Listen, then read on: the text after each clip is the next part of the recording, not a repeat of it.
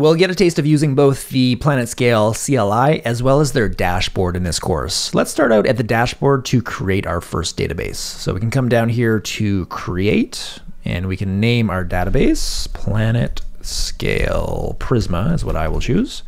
We get a choice for region. We've got a default to US East 1, but there's a whole bunch here. So have a look through, see what is closest to your users in general, and pick the best one.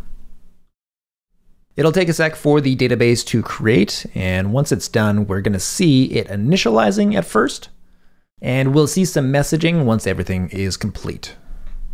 Now that it's done, we've got options to connect, we've got options to create a new branch, and right away you might be thinking, what is this thing here, create a new branch? That seems kind of like something to do with Git. And that's probably the most interesting part about PlanetScale, is that it works off of a branching model. When it comes to making changes to our database schemas when we're working with PlanetScale, we're not dealing with migrations as we might typically do in our applications. Instead, we're going to work with different branches and then work with what are called deploy requests.